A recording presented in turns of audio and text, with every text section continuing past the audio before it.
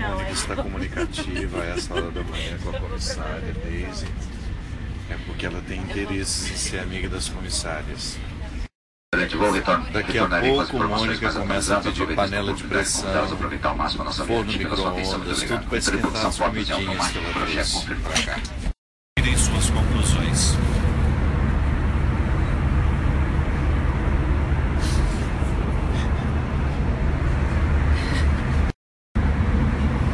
Ovos. Mônica trouxe até um liquidificador dessa vez. Olha que negócio de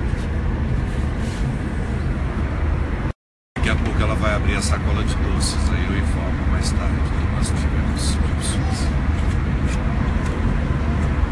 Só ria desavergonhada.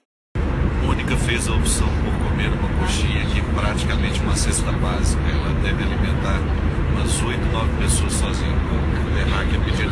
O Terráquea aproximou-se e lembra de tirar uma foto, tá fazendo uma negociação com a Mônica. Acho que a Mônica está pedindo um refrigerante a troco da Chegamos terráqueos e infelizmente não foi na Noruega. Chegamos em Guarulhos.